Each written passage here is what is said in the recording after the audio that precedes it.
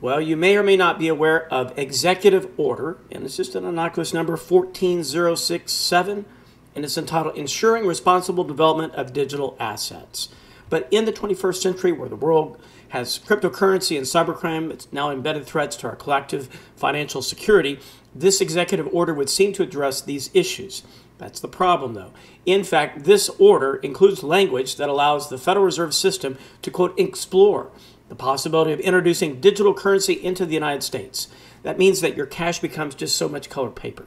And that would not be the only catastrophic impact on our society and the nation's economy.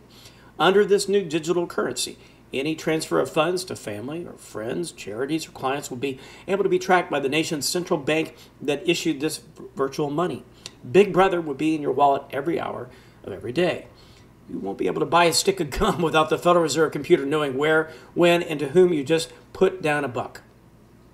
Like anything, it just starts with a feint. Hey, at this stage, they're saying the Fed is just introducing the subject into the public debate, is weighing the options, according to a Cornell University economics professor who's interviewed back uh, on the 24th of August by the Associated Press. Apologists for the White House insist that the executive order does not implement digital currency or give Washington the power to control it. But assuming that's true, what does it accomplish to introduce even the possibility of a currency move so radical, so profound, and so disruptive that it'll make George Orwell's 1984 nightmare novel a day in the park. We should be rightfully concerned about inflation, energy independence, and aggressor nations armed with nuclear weapons, and woke public policies that denigrate the very foundation of this great country. But this is nothing compared to the enormous destructive power of a digital currency option swept into Executive Order 14067. Nations have risen and fallen far from the battlefield, their destinies determined by their economic policies.